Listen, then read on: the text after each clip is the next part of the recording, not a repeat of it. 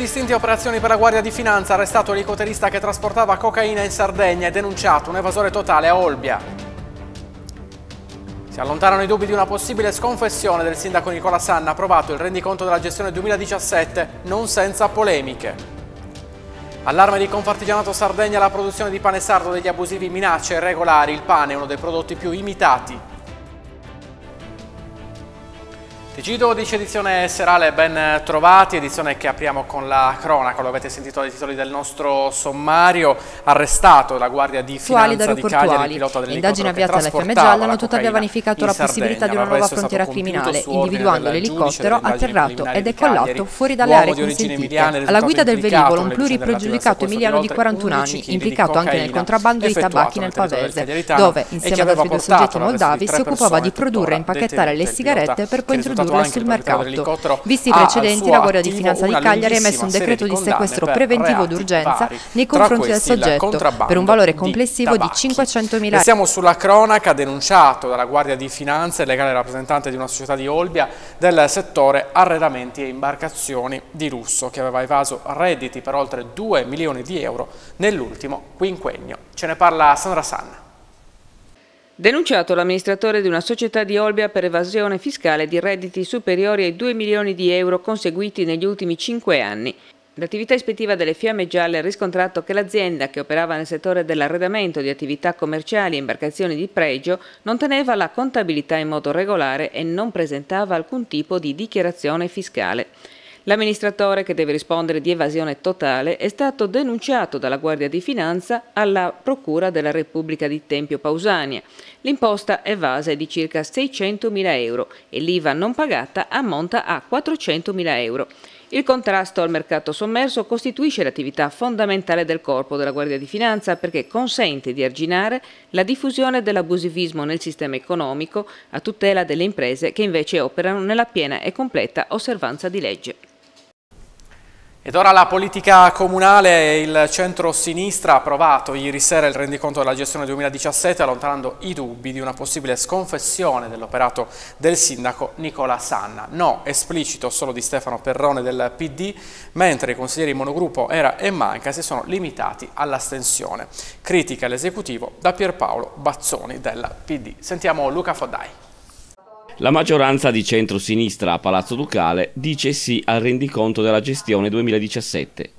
La seduta del Consiglio Comunale di martedì pomeriggio non ha riservato sorprese, date per possibili dopo le spaccature emerse nel gruppo DEM e ricomposte con l'approvazione all'unanimità nei giorni scorsi da parte di direzione e assemblea cittadina del PD di una roadmap per la conclusione del mandato.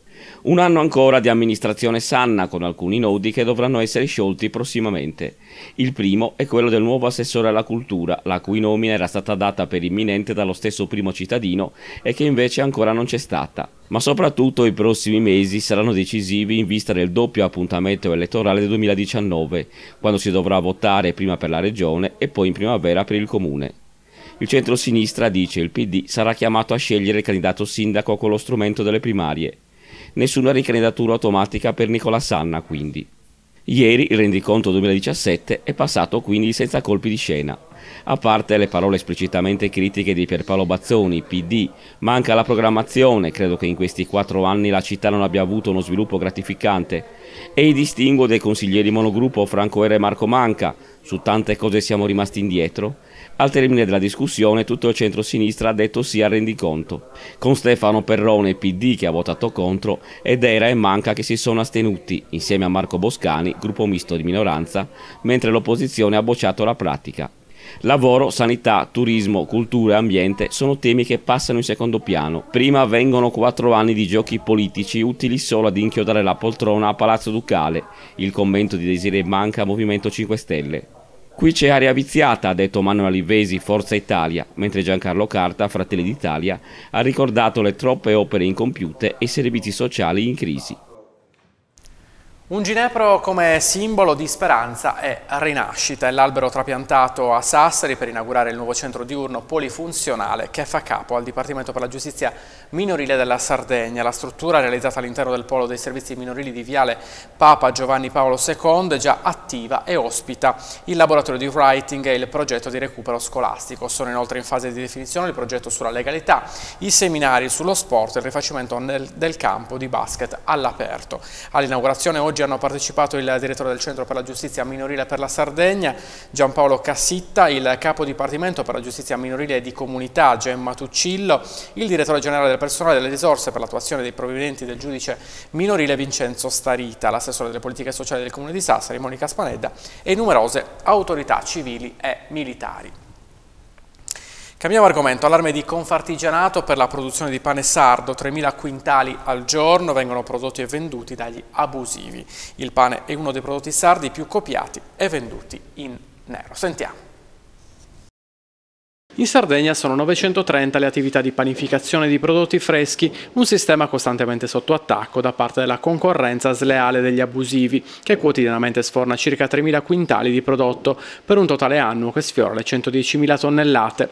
È l'allarme lanciato da Confartigianato Imprese Sardegna, sottolineando come il pane sardo o no nell'isola sia uno dei prodotti maggiormente copiati, prodotti e venduti in rivendita in nero sulle strade all'aperto durante manifestazioni ed eventi oppure online. In questo periodo anche con l'intensificazione intensificarsi delle cerimonie come i matrimoni o le cresime, il fenomeno è ancora più grave. Per Confartigianato Sardegna è necessario proteggere l'attività di panificazione e migliorare l'informazione al consumatore, la sua salute e soprattutto è fondamentale tutelare le imprese che anche in questi anni di crisi e calo dei consumi hanno comunque tenuto con forza e determinazione sorrette dalla loro qualità. Sopravvivenza messa in pericolo però negli ultimi anni non solo dalla concorrenza del pane precongelato nei supermercati, ma anche dalla concorrenza sleale di quello fatto in casa, poi venduto dappertutto. Si chiama Distretto Torres ed è lo strumento con cui il nord-ovest dell'isola punta a diventare un laboratorio di ricerca internazionale in tema di smart energy. Il progetto, primo in Sardegna tra quelli previsti dal piano energetico ambientale regionale, nasce dalla collaborazione tra i comuni di Sassari, Porto Torres Alghero e il Consorzio Industriale Provinciale di Sassari, promotore dell'iniziativa e che si candida come attuatore. Attraverso questo strumento il territorio potrà posizionarsi in testa nel fondamentale tema dell'energia intelligente, identificato dall'Unione Europea tra gli obiettivi da raggiungere nei prossimi anni. Cambiamo argomento, da ieri in città siamo a Sassari, il nuovo baby pit stop negli uffici comunali di via Venezia. Sentiamo Marina Sanna. Inaugurato ieri negli uffici settore attività educative, giovanili e sportive del comune di Sassari di Via Venezia 2 un nuovo spazio dedicato alla cura dei bebè e all'allattamento. Il Baby Pit Stop Unicef è stato realizzato dalla Commissione Pari Opportunità in collaborazione con il settore e con il contributo di Fidapa, sezione di Sassari, Inner Wheel Sassari Castello e con il patrocinio dell'Unicef provincia di Sassari. Il Baby Pit Stop offre gratuitamente un luogo di cura accogliente per mamme e bambini, in cui trovare una comoda poltroncina per l'allattamento e una zona attrezzata per il gioco, un bagno con un fasciatoio per il cambio a disposizione dei genitori o di chi si prende cura del bebè. La promozione dell'allattamento al seno è considerata da tempo una priorità di salute pubblica, sancita dalla Convenzione sui diritti dell'infanzia e dell'adolescenza. È quindi importante sostenere l'allattamento al seno sia per le madri sia per i bambini.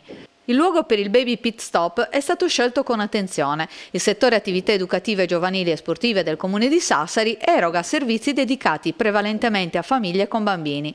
Vicino agli uffici di Via Venezia, inoltre, ha sede il parco di Via Venezia, molto frequentato dalle famiglie. Lo spazio sarà a disposizione negli orari di apertura degli uffici, dal lunedì al venerdì dalle 8 alle 14 e il martedì e il giovedì anche nel pomeriggio dalle 15 alle 17.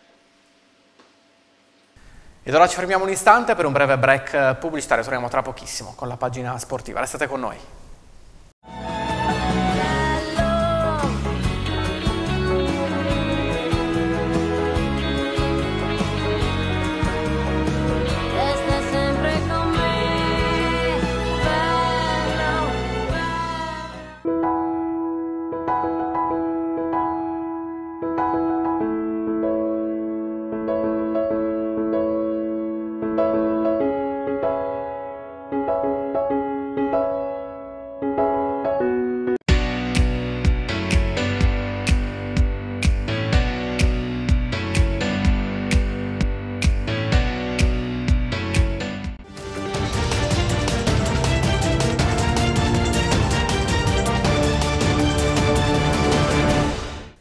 Torniamo in studio con la pagina sportiva, con i primi arrivi delle nazionali sta per prendere il via il ventitreesimo torneo Città di Sassari di lotta. Ce ne parla Icori Bichesu.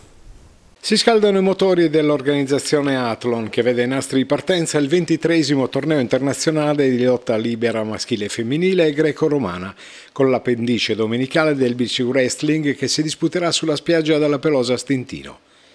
Già da ieri si sono registrati i primi arrivi delle nazionali che grazie all'Athlon potranno fruire di clinic appositamente studiati come approccio sia alla gara e che serviranno come ulteriore preparazione in vista degli appuntamenti mondiali in ottica Olimpiade. 26 nazioni rappresentate con il top degli atleti che ormai vedono il Tournament of Sassari come luogo ideale per completare la loro stagione. Un'occasione importante anche per il territorio che può mettere in vetrina le sue eccellenze. I due comuni di Sassari e Stintino possono vantare il fatto che destagionalizzare si può. Basta avere il supporto di organizzazioni che vantano credito internazionale come appunto l'Atlon Sassari. Si parte venerdì mattina dalle ore 10 con la fase delle eliminatorie sulle tre materassine e dalle 16 inizio le finali su una sola pedana di gara.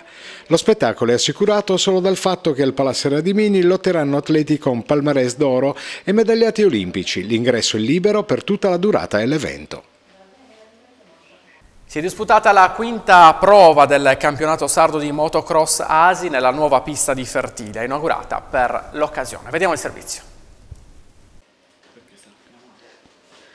Si è svolta domenica 20 maggio la quinta prova del campionato sardo di motocross Asi nella pista MX Vertilia in località Figuera, a fianco pista dell'aeroporto civile. La manifestazione è stata organizzata dal Motoclub Portoferro. Dopo le prove libere alle 11.30, 84 piloti distribuiti nelle varie categorie, agguerriti più che mai, si sono dati battaglia nel tracciato inaugurato proprio con la gara di domenica. Le categorie 65 cm3 ed Expert MX1 vanno vanno i piloti di casa con due bellissimi primi classificati del numero 29 Cristian Salvatore e del numero 921 Marco Barria. Finisce qua questa edizione del nostro telegiornale, non ci sono aggiornamenti dell'ultima ora, io mi fermo qui, vi ricordo che potrete rivedere questo TG sul nostro sito, canale12.it e l'intera nostra programmazione delle vostri smartphone o tablet attraverso wifi tv.tv. Inoltre se siete in possesso di un decoder Sky ci trovate al canale 5012, potete seguirci anche sulle nostre pagine social, Facebook, Instagram, YouTube e Twitter. L'appuntamento è con le notizie nazionali curate dall'agenzia di stampa DN Cronos, invece l'informazione di Canale 12 torna come sempre Domani mattina alle ore 7 con il rullo informativo ITG alle 14 alle 19.45. A me non resta che ringraziarvi per averci scelto e augurarvi un buon proseguimento di serata. Arrivederci.